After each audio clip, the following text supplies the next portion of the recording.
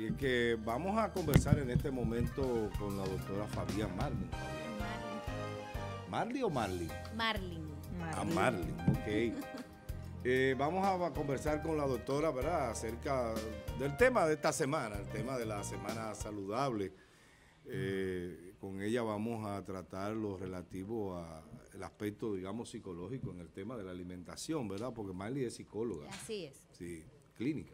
Psicóloga clínica escolar Neuropsicóloga educativa, eso es lo que yo me Mira el tema, lo tenemos por aquí, Amado. espérate, dime. Eh, el tema por aquí, darle los buenos días a, Marlin, qué bueno que esté por acá, siempre orientándonos. Mm. A propósito de la Semana Saludable, estaremos mm. hablando con ella sobre la importancia de la salud mental y los ejercicios para el cuidado de nuestro cerebro. Yo me identifico muchísimo. Adelante, Marlin. Bueno, primero, eh, darle las gracias por la oportunidad y el equipo de eh, de esta semana saludable por tomar en cuenta una parte importantísima que es la parte de la psicología. La salud mental, no hay salud sin salud mental.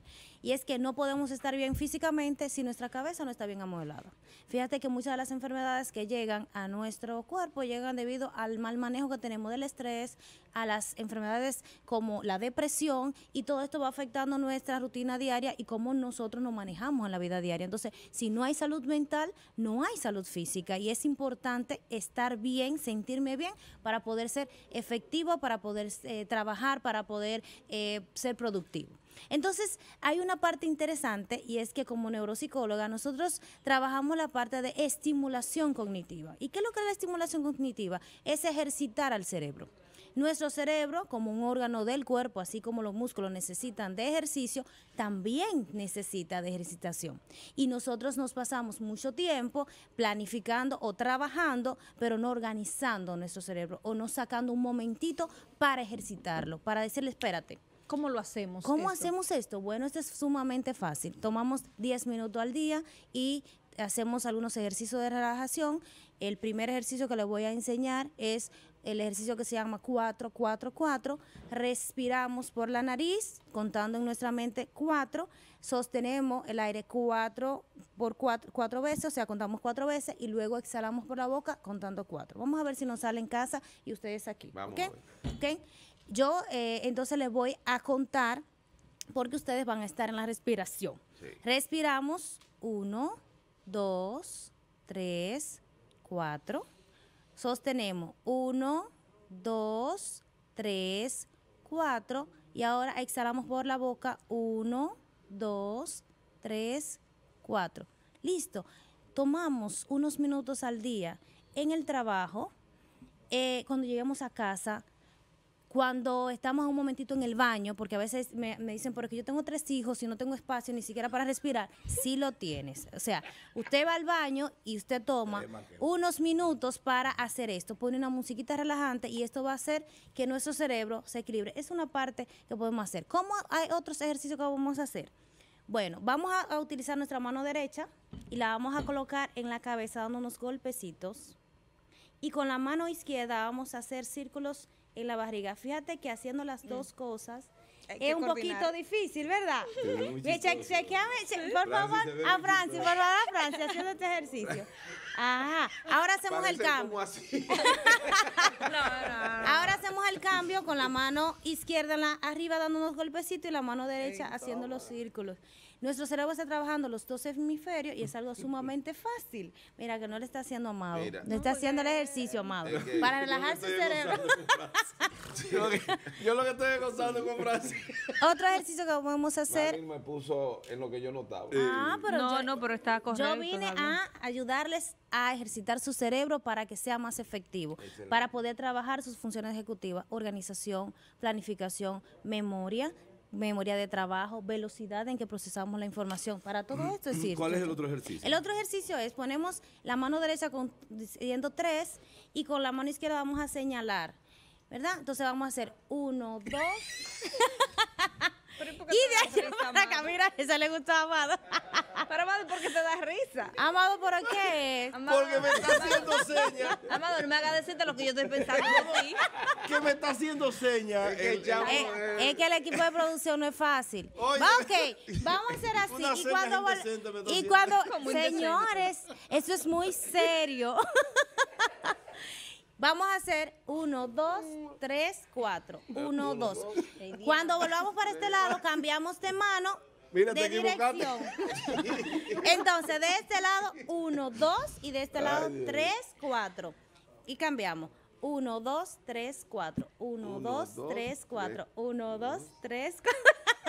Te estoy diciendo. Ahorita no van a cerrar el programa.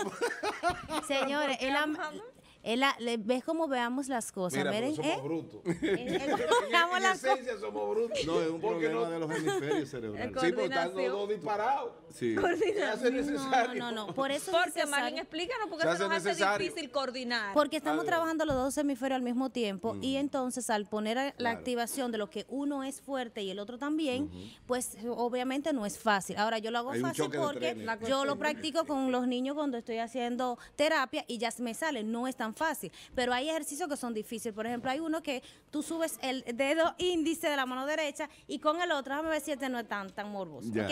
Y con el otro entonces señala y luego tienes que hacer el cambio. Y es difícil hacer el cambio. O sea, con este tú vas a estar arriba y con este tú vas a señalar. Y luego con este estás arriba y con este señala. Es, pero es necesario. Es con, este, con, el, con, el, ah, pulgar, con el pulgar. Ajá. Entonces hace el cambio. Hace el cambio. No funciona. sí, pero tiene que ponerla así. Es hay, que, hay, que, hay que hacerlo. Pero es importante que Yo saquemos... como montar bicicleta y masticar chicle. Te mastica la lengua, te cae. Sí, con la práctica funciona. lo que sí, queremos es... Eh, con estas intervenciones que, lo vamos a hacer también el este domingo, así que vayan practicando lo que están mm. viendo los ejercicios, que lo vamos a hacer en vivo, pero es que recordemos que debemos ejercitar nuestro cerebro. Nosotros estamos muy, eh, hay una tendencia a la parte degenerativa del cerebro, porque con la edad vamos bajando funciones. Pero gracias a la neurociencia se ha destacado que nuestro cerebro tiene plasticidad cerebral, que puede que seguir creando neuronas aún ya estando bien viejitos. Lo que necesitamos es ejercitar para que nuestro cerebro pueda crear esas neuronas y podamos seguir en función activa. Ustedes dirán, pero yo, por ejemplo, mi abuelo duró 85 años, eso en el caso mío porque el mío tenía Alzheimer, pero y recordaba todo. Pero usted tiene que ver qué hacía el abuelo, cuáles eran las acciones que hacía diarias, que todo lo hacía calculado con la cabeza, que no utilizaban una calculadora ni un computador, y esto ayudaba a que esas funciones se pudieran desarrollar. Pero esa rutina de vida de calcular y esas cosas le ejercitaba el cerebro. Mi suegra tiene 95 años y sus hermanos tienen, han fallecido de Alzheimer, con Alzheimer. Entonces, ella no tiene, es la única y de las mayores. A ella no la ha visitado el alemán todavía. el alemán no la ha visitado, pero hay una condición.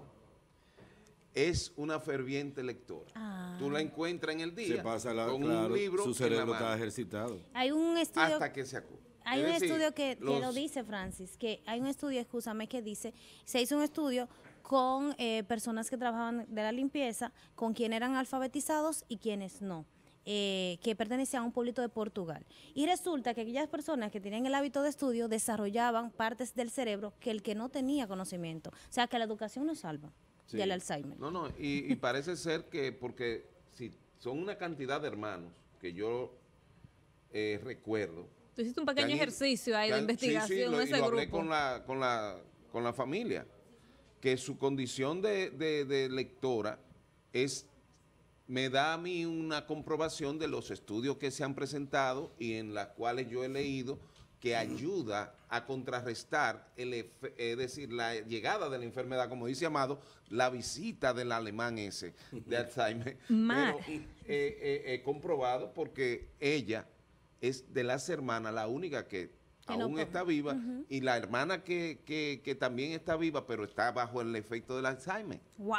Es decir, y es menor que ella. Marlin, el tema de ejercitarse ya el cuerpo físicamente, en los gimnasios, caminando, bicicleta, todo ese tipo de ejercicio, tratar de lograrlo dejando de lado el estrés, la preocupación de lo que tenemos que hacer, de sacar esa hora, de lograr una rutina, un momento sagrado para ejercitar nuestro cuerpo y nuestro cerebro, desconectarnos. ¿Cómo hacerlo en estos tiempos? Mira, justamente hablamos de que los ejercicios físicos son buenísimos para contra el estrés, pero nos causa estrés tener que ir al gimnasio. O sea, es difícil porque vivimos una vida tan acelerada como tú dices que, bueno, ¿y cuándo voy? Planificación. Es importante crear una rutina y escribirla para poder hacerlo. Recuerden que necesitamos 21 días para crear un hábito y 3 meses para adaptarlo a mí. Entonces, ¿qué necesitamos? Constancia y una rutina. Escribirlo, cuál es el momento que puedo y hacer un compromiso. Al principio va a ser difícil cumplir porque siempre tú vas a tener algo a esa hora algo va a ocurrir para tú no poder ir, pero tú tienes que tener la constancia, no, este momento es mío y priorizar lo que sea para ti, una importante.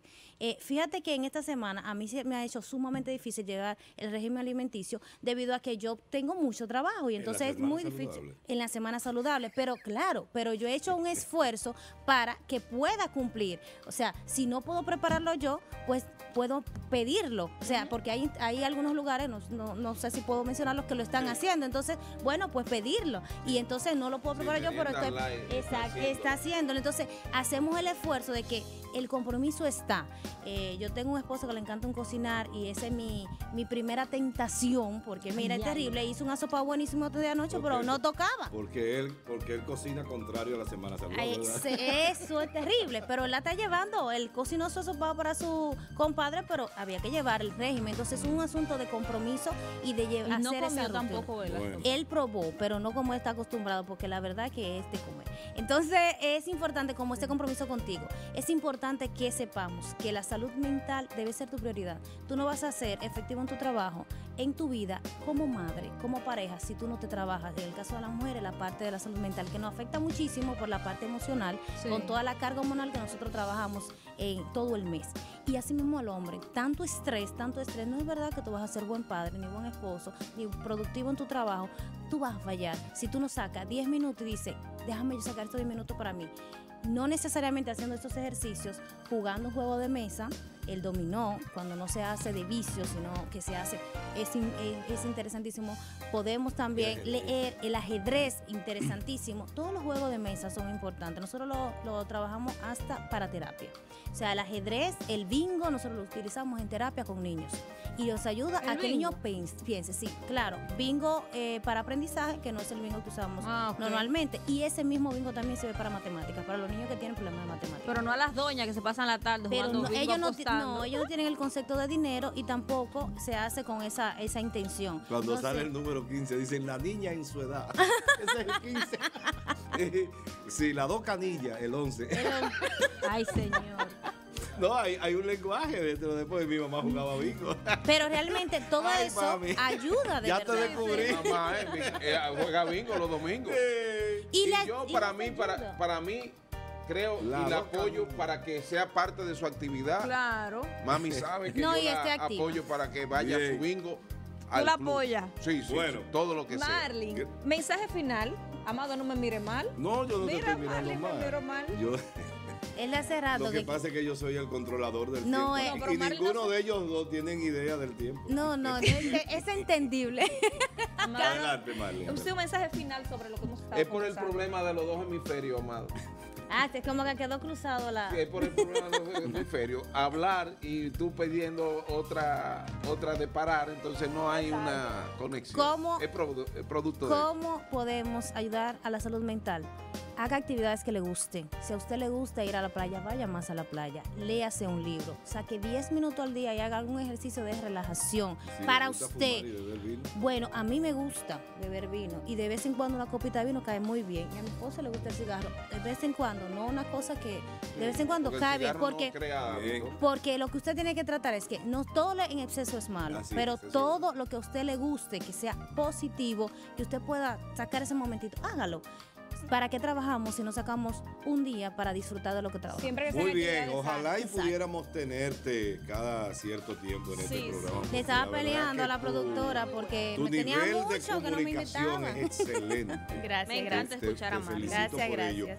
Señores, Marlin Fabián, neuropsicóloga que va a estar en este proyecto ¿no? de Semana Saludable. Que está o que está en este proyecto de Semana Saludable y que en el día de mañana es la actividad que tú anunciaste. El domingo, el domingo que vamos a estar en la caminata, vamos a estar y luego vamos a hacer eh, unos ejercicios para relajación y para estimulación del cerebro y también ejercicio físico, así que no se lo No se pierda eso, señores.